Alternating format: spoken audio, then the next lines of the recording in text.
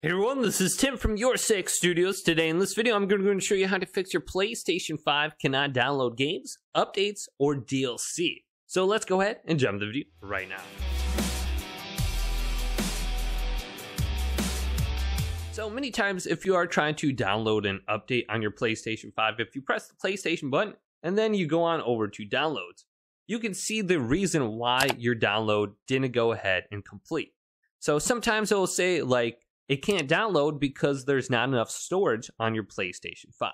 And then you got to go up to settings here and select this, and then go on down to storage, and then just go to your console storage or your M.2 SSD storage, and just make sure there's enough free space available. So delete some games, applications, media, etc. to make more room so your download can actually complete. In some games, you need a lot more free space than it actually says, so just make sure there's enough. Then you can back out here and then you can go to network. Now under here, go to settings, then go to setup internet connection. Then find your current connection. So I'm using wired LAN 1. I'm going to press options on it and then go to advanced settings. Then go to where it says DNS settings. Mine says automatic. Switch it over to manual. For the primary DNS, type this in 8.8.8.8 then go to the secondary DNS and type in 8.8.4.4 R2 and done. Then go to the MTU settings and type in 1472. Just like this. Then press R2 and done and go over to OK. And then it's going to connect to the internet. So I'm currently connected now. Let's back out of here. Now what we want to do is start our PlayStation 5 into the safe mode minis. So press the PlayStation button, go on over to power, and completely turn off your PlayStation 5. So it will say preparing to turn off your PS5 now.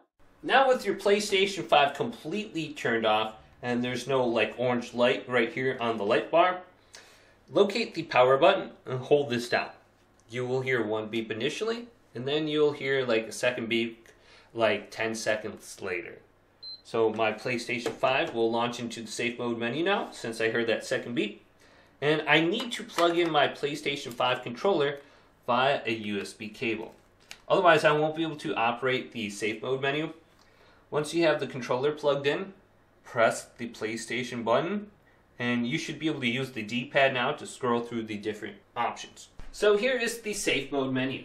Now sometimes you can't download an update because you have to download the system software and there's an error downloading it. Well, you can go to option number three, and then go to update using internet right here and select this and this will install a fresh copy of the system software back to your PlayStation 5. So go ahead and do this. It'll download the copy and then restart the PlayStation. Then you can also try this. Option number 5, clear cache and rebuild database.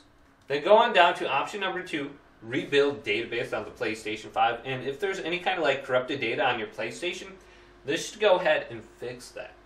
Also, you can try to clear the system software cache right here on the top. So those are all the options you can go ahead and try to fix your cannot download issues on the PlayStation 5. If this video did indeed help you out, go and leave a big thumbs up and subscribe to my channel down below for more tech help videos coming up next on Your Six Studios.